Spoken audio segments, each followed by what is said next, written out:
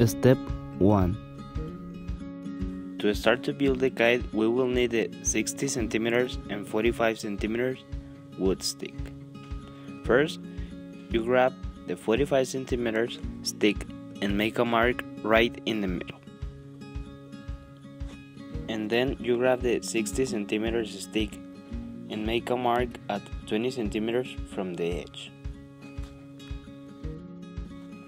After that, you have to join the marks made and hold them firmly with the thread.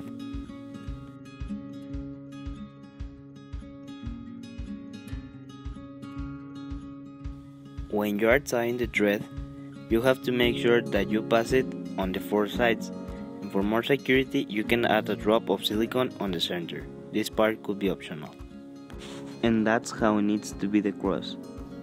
Step 2 after making the cross, you have to make the structure of the kite with the thread. You can help by making a slot on the stick. And now attach the thread to each end of the stick and go around them. Like in the middle, you can add a drop of silicone in the nuts to make it stronger and safer. This is called be optional too. Step 3 Then we make the body of the kite we can use different colors, but in this case, we are going to use red. Extend the Chinese paper and put the kite on top. Make sure it fits because you are going to cut the shape. With the pencil, make a point at the edge of the sticks and join the points with the rule.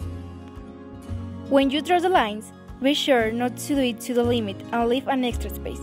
This will help you to glue it to the structure. Then you cut it. When you're finished cutting it, put the kind on top and fold the edges inwards. Then glue it. You can use silicone or help you with tape. To glue it, put silicone and fold. Step 4 For the last step, grab the stamen and make a knot in the center of the kite, where the sticks come together. Make sure that it's firmly tied. Also, make sure that the stamen that you use it is of great length. When the stamen is tied, it's ready. But you can put a ribbon for extra decoration to make it look cool and to see when it is windy. Use silicone to glue it to the kite.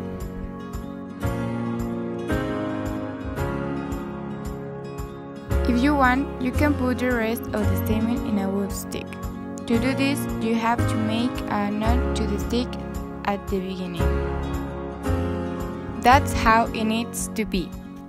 To give the kite a better grip, add a piece from the same stamen to the corner of the stick and to the stamen in the middle. Do the same on the other side. This is the final result, and now it's ready to fly.